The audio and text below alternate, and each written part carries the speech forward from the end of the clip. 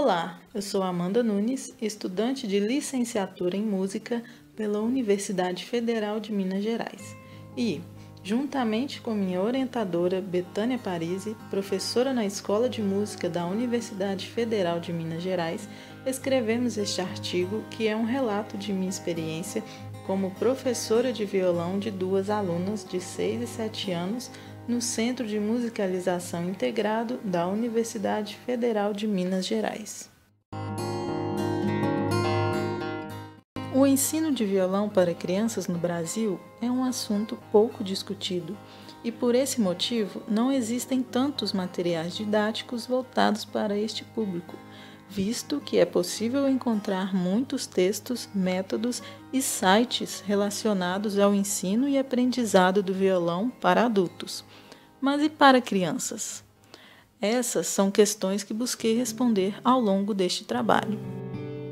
Como professora de violão e educadora musical, tenho grande interesse em abordar corretamente o ensino do instrumento com os meus alunos.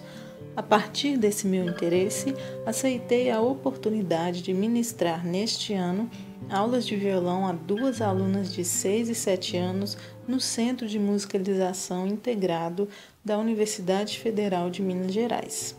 E decidi então escrever o relato desta minha experiência.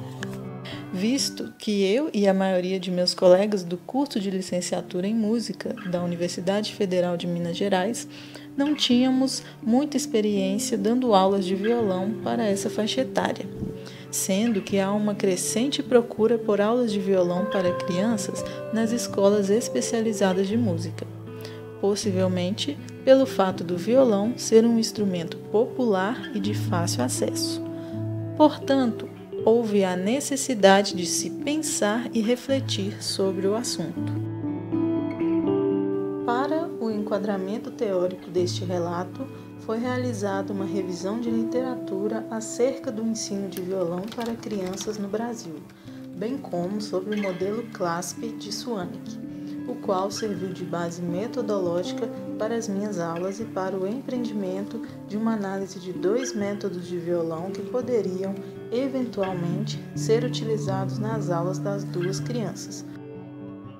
Dentre os assuntos mais relevantes para este presente trabalho que foram tratados nos textos sobre o ensino de violão no Brasil estão o ensino coletivo, citado por autores como Cruvinel, Teixeira Barreto e Tourinho, que defendem a democratização do ensino do instrumento musical por esse atender mais alunos, além de que dessa forma todos podem aprender entre si. A abordagem lúdica também é importante, como citado por Cruvinel, pois cria um ambiente adequado para que a criança se expresse e desperte seu interesse pelo violão. Segundo Galindo, para o repertório é recomendado a utilização de temas conhecidos e desconhecidos. O professor deve buscar adequar o repertório a cada aluno.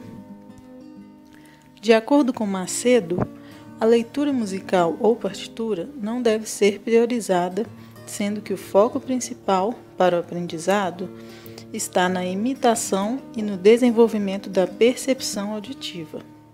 Por fim, a exploração da criatividade é fundamental para que a criança se desenvolva musicalmente, pois assim ela terá mais chances de se tornar um adulto criativo, produtivo e com muito sucesso. Swanik, educador musical, apresentou em seu livro A Basis for Music Education, de 1979, seu modelo de ação para o ensino de música, o modelo CLASP, que propõe uma abordagem ampla e significativa, estruturando o estudo musical em um sistema que proporcione contato direto com a música.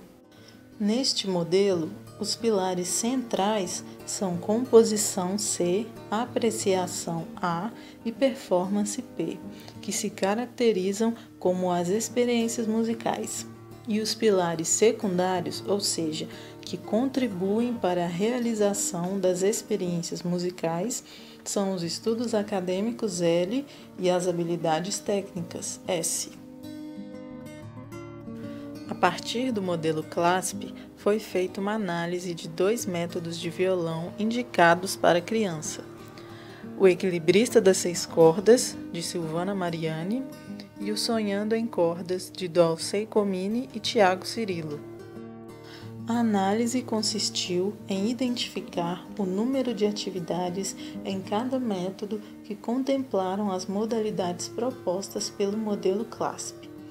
O método O Equilibrista das Seis Cordas contém 106 atividades, das quais, segundo a análise, duas são de composição, duas de apreciação, 55 de performance, duas de estudos acadêmicos e 45 de habilidades técnicas enquanto que o método Sonhando em Cordas, que contém 126 atividades, apresenta 25 de composição, 10 de apreciação, 28 de performance, 3 de estudos acadêmicos e 60 de habilidades técnicas.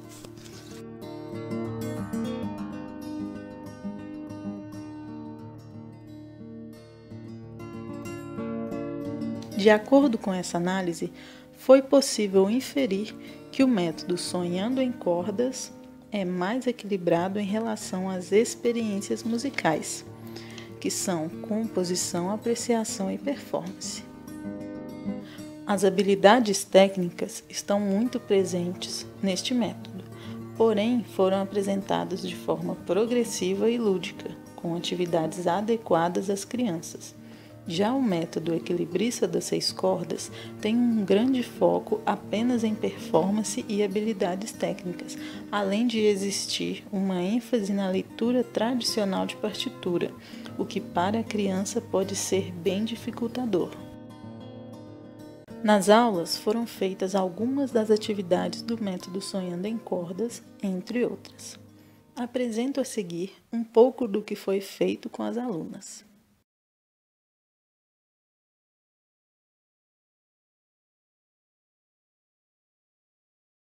Dó, ré, mi, fá, sol, lá vai o sol. Dó, ré, mi, fá, o sabiá.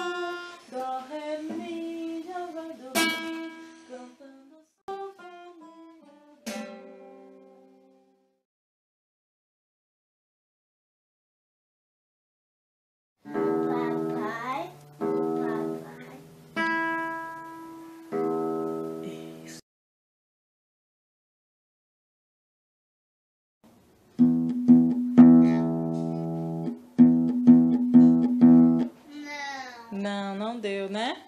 Acho que é isso. Então, então vai acompanhando. Isso, vai, vai acompanhando então. Pra ver se vai dar certo, ó. Pera aí de novo.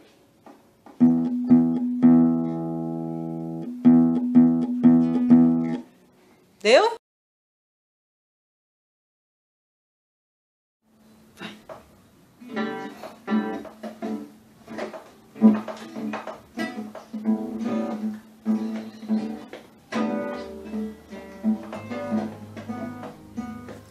Pude perceber o prazer das alunas ao tocar um instrumento, o quanto elas se divertiam com isso.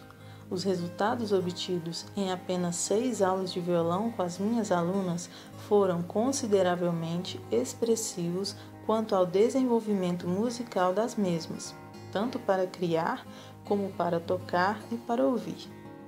O uso do modelo CLASP me ajudou a priorizar as experiências musicais no meu planejamento, fazendo com que eu tivesse um entendimento melhor sobre o que deveria oferecer às minhas alunas. E o método Sonhando em Cordas foi eficiente para essa proposta de ensino. A aula coletiva proporcionou um aprendizado colaborativo entre elas, pois o que uma não dava conta de fazer, a outra fazia e vice-versa.